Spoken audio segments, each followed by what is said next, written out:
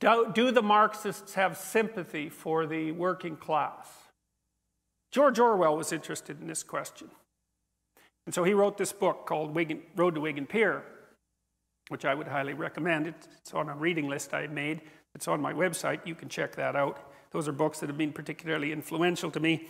And so Orwell was a socialist. He wrote the book for the Left Book Club, um, which published a kind of a socialist book once a month. Um, Orwell, by the time he wrote this book, he was already awake. You know, by in the 1920s, after the Russian Revolution, no one really knew what to make of what was happening in what would become the Soviet Union, right? I mean, it was after World War I, the planet was in ashes for all intents and purposes. The old aristocratic order was crumbling. Um, it was a horror show. And these revolutionaries came out with these new ideas and tried to give the, in principle, give the working class a break, and everybody watched to see what would happen. And um, the honest people and the intellectuals watched, and I separate them for a reason. Um, but by 1920, 21, 22, something like that, it was obvious already that something was rotten in the state of Denmark. Malcolm Muggeridge went over to the Soviet Union to check out how the collectivization of the farms was going, and he found out it was actually pretty murderous.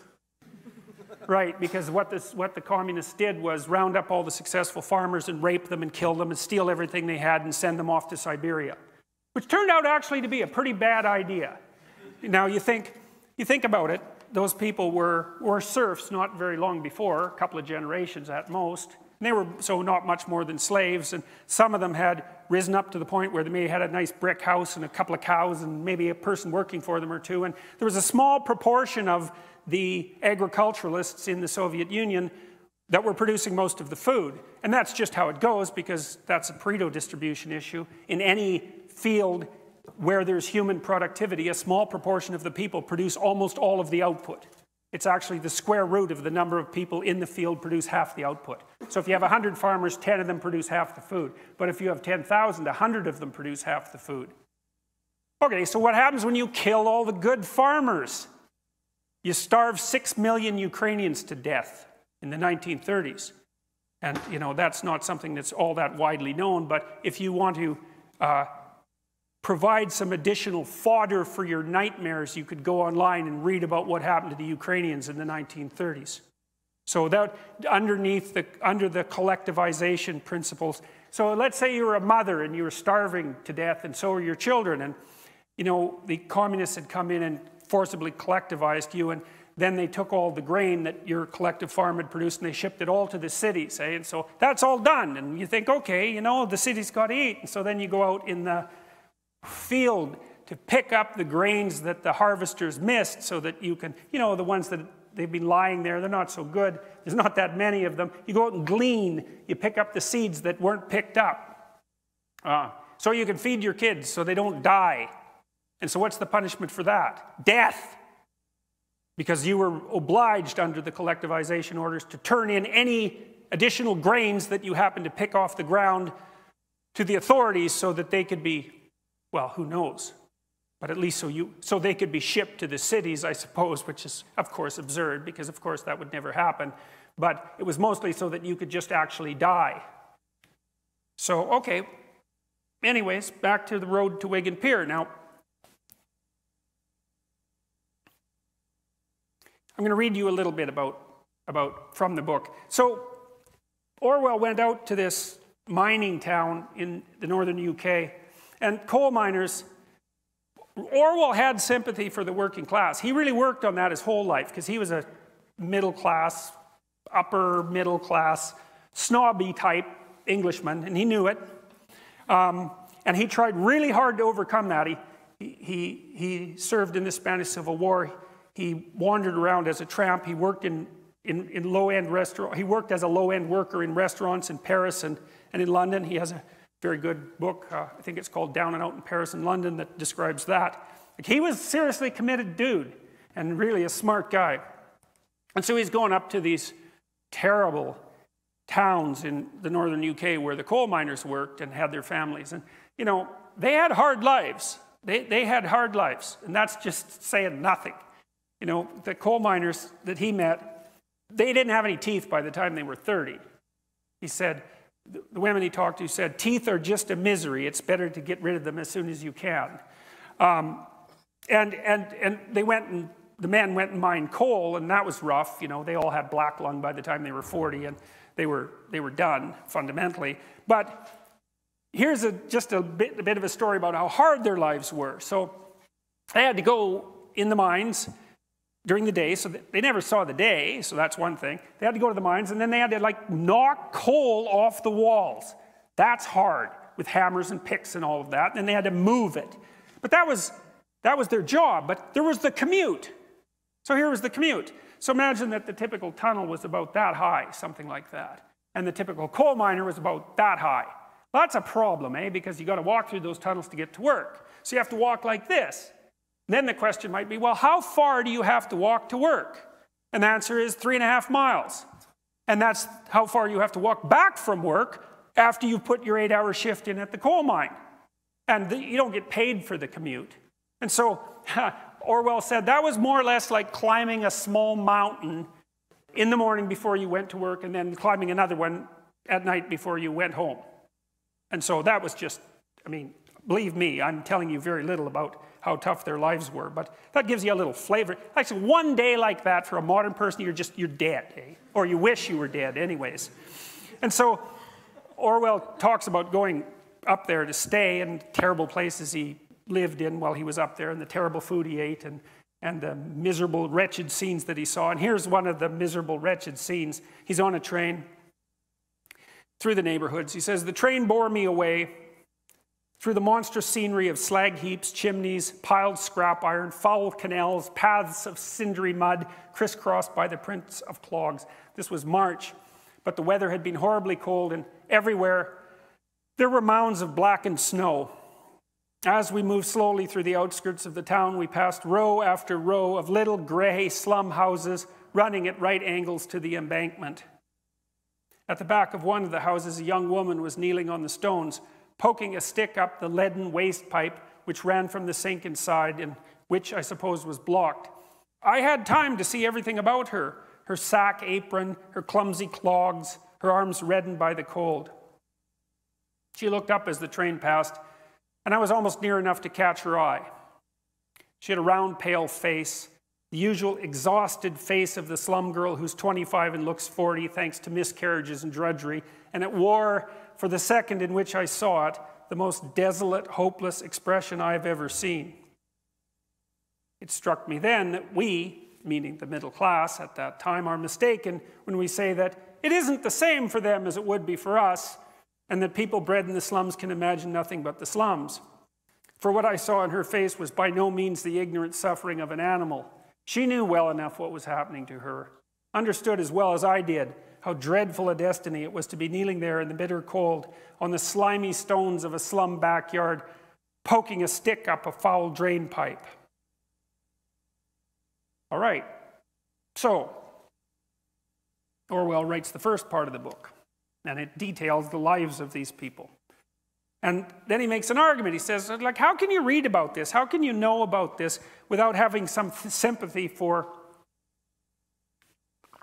redistribution schemes and social and socialist ideas. And so he's actually asking himself this question. It's not just a rhetorical question. He's, I mean, he's a serious guy, right? He, went, he goes up there and he tells you a story that you, you have to have a heart of stone if you, if you don't, if you read that, you don't think, man, something should be done about this. It's really awful. So he's set up this situation where your sympathies are completely with the people that he's describing. But socialism wasn't all that popular in Britain at that time. And, and so, and socialists weren't all that popular with Orwell. He didn't really like them that much. And he was trying to figure out why that was. So, this is what he wrote in the second part of the book. Now, this got him in a lot of trouble. They didn't want to publish his damn book after he wrote the second part. Uh, but he fought with them and he got it published, and it's a classic, and, and people still read it, and you should read it because it's a great book. And Orwell's a great writer. And Orwell was another one of those people intellectuals who woke up pretty early. You know, Orwell wrote Animal Farm in 1984. He wrote 1984 and 1948. Um, wrote Animal Farm approximately around the same time. He knew what was happening under Stalin, and he wasn't afraid to say it. But it was a message that, in some sense, fell on deaf ears, especially among the intelligentsia. And there's complicated reasons for that. But, um, but it wasn't like the facts weren't there for people to see them if they wanted to. And as already said, Muggeridge, Malcolm Muggeridge, had made it pretty clear in the 1920s, and that was widely publicized, by the way, throughout the UK, what was happening during de-kulakization, the kulaks being the farmers that I talked about earlier who, who had committed the unspeakable sin of crawling out of their serf status over a couple of generations to the point where they weren't mere property and half starved. So, this is what Orwell had to say about socialists. It might be said, however, that even if the theoretical oriented, book trained socialist is not a working man himself, at least he is actuated by a love of the working class. He's endeavoring to shed his bourgeois status and fight on the side of the proletariat. Obviously, that must be his motive. But is it? Sometimes I look at a socialist, the intellectual, tract writing type of socialist, with his pullover, his fuzzy hair, and his Marxist quotation, and wonder what the devil his motive really is. It's really difficult to believe that it's a love of anybody, especially of the working class, from whom he is, of all people, the furthest removed. The truth is that to many people calling them socialists, revolution does not mean a movement of the masses with which they hope to associate themselves. It means instead a set of reforms which we, the clever ones, are going to impose upon them, the lower orders. On the other hand, it would be a mistake to regard the book trained socialist as a bloodless creature entirely incapable of emotion. Though seldom giving much evidence of affection for the exploited, he is perfectly capable of displaying hatred, sort of queer, theoretical, in vacuo hatred against the exploiters. Hence the grand old socialist sport of denouncing the bourgeoisie. It is strange how easily almost any socialist writer can lash himself into frenzies of rage against the class to which, by birth or by adoption, he himself almost invariably belongs. Now, I worked for the NDP when I was a kid, and I had privileged access to the leadership for provincially and federally for reasons that I won't go into, and I thought that Many of them were honorable people who were really striving to give the working class a voice. And I believe that the working class needs a voice, a political voice, for obvious reasons. Um, I think the Democrats in the United States have made an absolutely dreadful, abysmal mistake replacing their working class political ethos with identity politics. We're going to talk about that. And uh,